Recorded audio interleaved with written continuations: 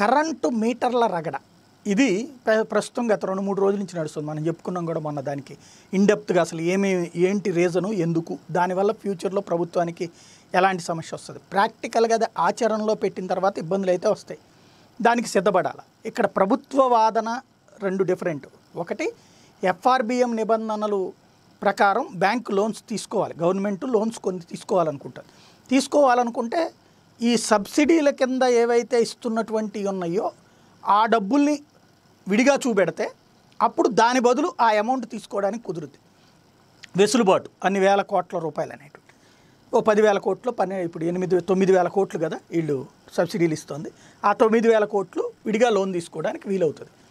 డబ్బులు ఇటు పక్కన వేయడానికి వచ్చేటప్పటికి అది ఆటోమేటిక్గా ఉంటుంది. ఇది ఒక ఇంకోటి టోటల్గా దాని ఇంపాక్ట్ చూస్తే త్రీ టైమ్స్ తీసుకోవచ్చట. ఇరవై ఏడు వేల కోట్ల వరకు అప్పులు తీసుకోవడానికి అవకాశం వస్తుంది.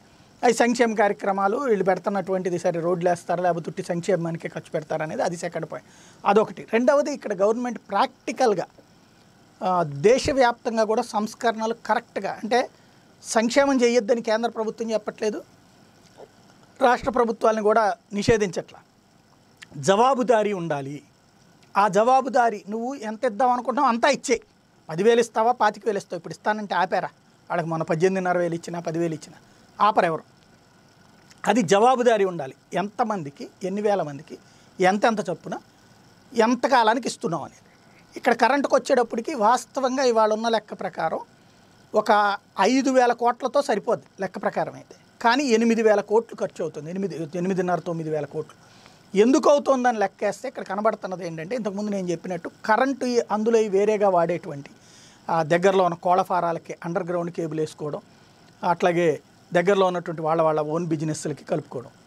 ఇంకొకటి ఈ పక్కన అంటే మోతుబరి రైతులు ఎవరైతే ఉంటారో వాళ్ళకి ఈ అమౌంట్లు అంటే వాళ్ళకి ఈ కరెంట్ కనెక్షన్ ఉన్నటువంటి వాళ్ళ పొలం దగ్గర నుంచి వాళ్ళ పొలాలకి నీళ్ళు పెట్టడం.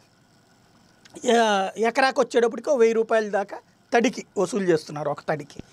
వాళ్ళకు వచ్చేటప్పటికి అక్కడ డబ్బులు ఎక్కువ అవుతాయి కాబట్టి వీళ్ళ దగ్గర సింపుల్గా అయిపోతుంది కాబట్టి వాళ్ళ కరెంట్ ప్రకారం చూసుకుంటే దగ్గర దగ్గరగా ఇరవై ముప్పై వేలు అవుతుంది వాళ్ళకి. దాని బదులు ఇక్కడైతే కనుక వెయ్యి రూపాయలతోనే పోతుంది కాబట్టి ఆ లెక్కను చూసుకుంటున్నారు అనేది ఒక కాన్సెప్ట్. ఇప్పుడు జవాబుదారీ వస్తుంది. ఒక బోరుకి ఎంత ఖర్చు అవుతుంది ఇది తెలుసు. ఇంకోటి ఏంటంటే ఇప్పుడు మోటార్లు కూడా కొత్త కొత్త ఫీడర్లతో సిస్టమ్స్తో ఇస్తున్నారు.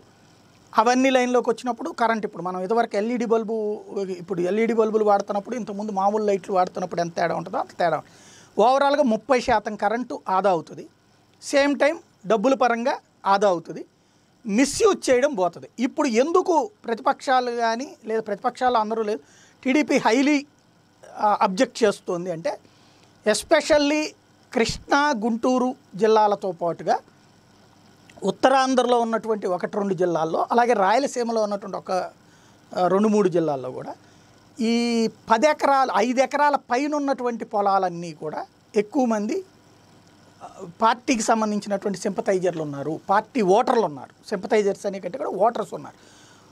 పార్టీ లాయల్ ఓటర్లు అక్కడ వాస్తవంగా ఆ కరెంటు లోకల్ కరెంట్ వాళ్ళకి కూడా తెలుసు. ఇట్లా మిస్యూజ్ చేస్తున్నారు అనేది తెలిసినా తీస్తే వాళ్ళకి బతకనీయండి అనే కోణంలో వదిలేశారు. మన పార్టీ వాళ్ళు కదా. ఇప్పుడు అవి బయటకు వస్తాయి. వైసీపీ వాళ్ళు కూడా ఉంటారు. ఇక్కడ వైసీపీ వాళ్ళేమో మాది పోతదని ఫీల్ అవుతారు. ఏది అట్లాంటి వాళ్ళు మోతుబరి రైతు. టీడీపీ వాళ్ళ దగ్గరకు వచ్చేటప్పటికినేమో ఇప్పుడు ఈ టైం మాది గవర్నమెంట్ పడిపోయాక కాబట్టి అనేది. ఈ కోణంలో వాస్తవంగా ఒకప్పుడు ఇదే తరహా సంస్కరణలు చంద్రబాబు గారు కూడా పిలిపించారు. కరెంటుది సిస్టమేటిక్ ఉండాలి. అప్పుడే కదా ఈ డిస్కమ్లు ఈ సిస్టమ్ పెట్టింది. ఒక కరెంటు పోల్ నుంచి ఒక కరెంటు పోల్ దాకా ఎంత అవుతుంది? ఒక ఏరియాకి ఎంత సప్లై అవుతుంది ఎంత లాస్ అవుతుంది దానికి అనుగుణంగా చూడడానికనే డిస్కమ్లు పెట్టారు. అసలు సంస్కరణలు తెచ్చింది అందుకు విద్యుత్ శాఖను ముక్కలు చేసింది అందుకు. తీరా చూస్తే అది ఫెయిల్ అయింది జనాల దగ్గర అయితే డబ్బులు మాత్రం బ్యాండ్ పడతానే ఉంది. కాకపోతే ఆనాడు పత్రికలన్నీ కూడా ఈ సంస్కరణల్ని హర్షించినాయి. అద్భుతం సూపరు ఎందుకంటే కరెంటు వృధానే ముప్పై శాతం పోతుందని. ఇప్పుడు కూడా ముప్పై శాతం వృధా పోతుంది. ఆ ముప్పై శాతం వృధా పోవడానికి అప్పుడు చేసిన ప్రయత్నం అయితే విఫలమైంది కానీ దాని ద్వారా వేరే వేరే వాళ్ళు బతికేయగలిగారు. ఇప్పుడు వీళ్ళు చేస్తున్నారు వీళ్ళేమో డైరెక్ట్ పబ్లిక్ నుంచి చేస్తున్నారు. కాబట్టి ఇది అడ్డుకోవడానికి అనేటువంటిది ఇటు ఓ సెక్షన్ ఆఫ్ మీడియా కానీ అటు టీడీపీ కూడా ప్రయత్నిస్తుంది. మరి గ్రౌండ్ లెవెల్లో దీనివల్ల నెగిటివ్ ఓట్ వస్తుంది నో డౌట్ అందులో. ఎందుకంటే ఎప్పుడూ కూడా తినేవాడిది ఎట్లా ఉంటుందంటే ఆలోచన ఏం మేము వెయ్యి రూపాయలు తింటే ఏడుస్తాడు ఆడు కోటి రూపాయలు తినలేదా ఆడు వంద కోట్లు తిన్నాడు లక్ష కోట్లు తిన్నాడు అని అప్పుడు మాట్లాడతారు. ఈవెన్ సొంత పార్టీ వాళ్ళైనా సరే. అంతే తప్పించి ఇది తప్పు అని ఫీల్ అవ్వరు. బతకడం ఎక్కడ కుదురుద్ది? రైతు అన్నాక మాత్రం తప్పదంటారు ఇక్కడ. వాస్తవంగా రైతే వీళ్ళు కూడా. కాబట్టి వీళ్ళు పెద్ద రైతు వాళ్ళు చిన్న రైతు. ఈ కాన్సెప్ట్ల దగ్గర వస్తుంది కాబట్టి ఈ మొన్న ఇంతకుముందు చెప్పుకున్నాం రేషన్ కార్డుల దగ్గర ఎట్లా ప్రాబ్లమో ఇది కూడా అట్లాంటి ప్రాబ్లమే. సా డైరెక్ట్గా సాధారణ ప్రజల దగ్గర జరుగుతున్నటువంటి సాధారణ ప్రాంతంలో జరుగుతున్నటువంటి మిస్యూజింగ్ దీని మీద ధైర్యంగా వెళ్తారా? ఎందుకంటే ఒకప్పుడు చంద్రబాబు గారు అట్లాంటి సంస్కరణలు చేశారు దానివల్ల ఓడిపోయామనేది ఫీలింగ్ కాబట్టి ఇప్పుడు అట్లాంటి వాటిని పోరాడుతోంది టీడీపీ. కాబట్టి నాటి బాబు గారిలాగా దెబ్బతింటారా? లేదా తర్వాత రాజశేఖర రెడ్డి తరహాలో కంటిన్యూ చేయగలుగుతారనేది చూడాలి.